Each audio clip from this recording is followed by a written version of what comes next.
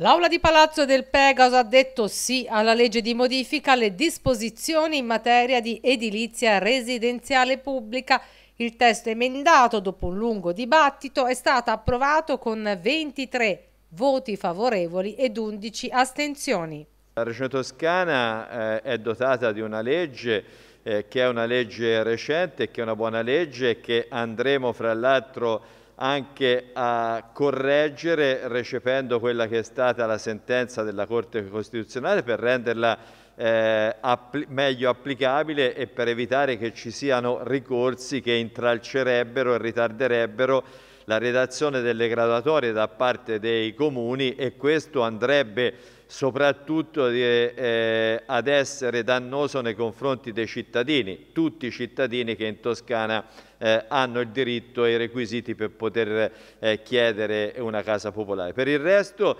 eh, ci sarà la possibilità di fare investimenti importanti sul patrimonio eh, che la Toscana ha, sono circa 50.000 alloggi, eh, già nella passata legislatura il, al sistema erano stati eh, dati e investiti eh, oltre 200 milioni, ora abbiamo già disponibili 90 milioni per quanto riguarda l'efficientamento e quindi per quanto riguarda l'intervento anche di ristrutturazione delle, eh, degli alloggi esistenti e nelle linee strategiche per l'utilizzo dei fondi europei e quelli del PNRR noi avevamo già previsto eh, la possibilità, anzi data l'indicazione di utilizzare questi fondi. Quindi la cosa più importante che è quella di avere disponibilità di alloggi deve, eh, troverà nei prossimi mesi e nei prossimi anni la possibilità di concretizzarsi perché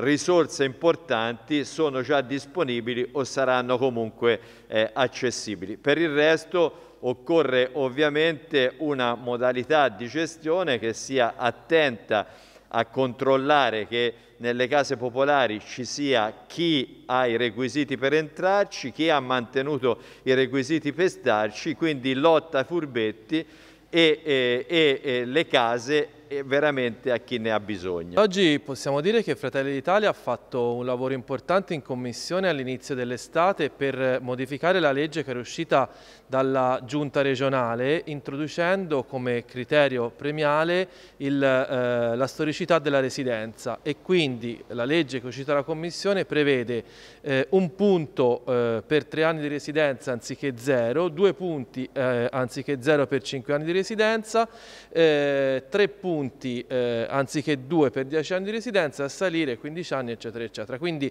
abbiamo eh, voluto e in commissione siamo riusciti a introdurre appunto il criterio della premialità della storicità della residenza nell'assegnazione degli alloggi popolari. Quindi a nostro giudizio la legge che è uscita dalla commissione nello scorso mese di luglio è una legge molto migliore rispetto a quella che era entrata in commissione. Cercheremo di migliorarla ulteriormente nei lavori di aula, in particolar modo eh, riteniamo che si possa agevolare un rapporto tra gli uffici dei vari comuni e i catastri degli stati esteri per capire se i richiedenti, se coloro che fanno domanda dell'alloggio popolare